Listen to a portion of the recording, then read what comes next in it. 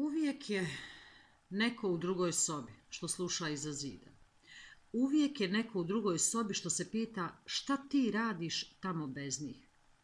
Uvijek je neko u drugoj sobi što se plaši da ti je bolje kad si sam.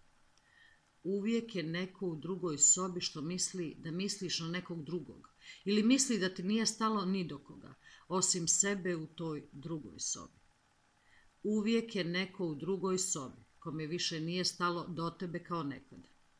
Uvijek je neko u drugoj sobi što se ljuti kada nešto ispustiš ili mu se ne sviđa kada kašlješ. Uvijek je neko u drugoj sobi što se pravi da čita knjigu. Uvijek je neko u drugoj sobi što satima priča telefonom. Uvijek je neko u drugoj sobi i ti se ne sjećaš tačno ko je i iznenađen si kad stvori neki zvuk i odu hodnikom do kupatila.